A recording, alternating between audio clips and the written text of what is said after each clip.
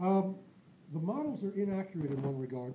Um, there is a, a bridge connecting the anterior white columns with each other. There's none connecting the posterior white columns. There's actually a wall here. And the posterior white columns are physically separated from one another by a septum.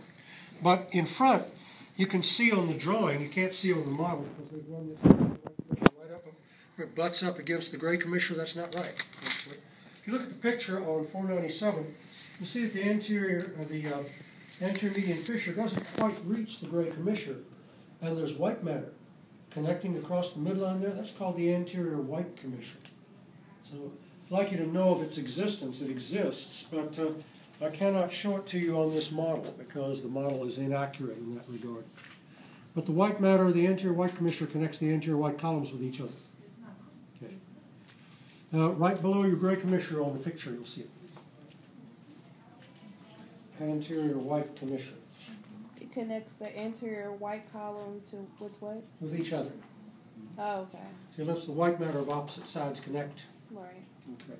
There's no such connection posterior because there's a wall back there. Okay. They're physically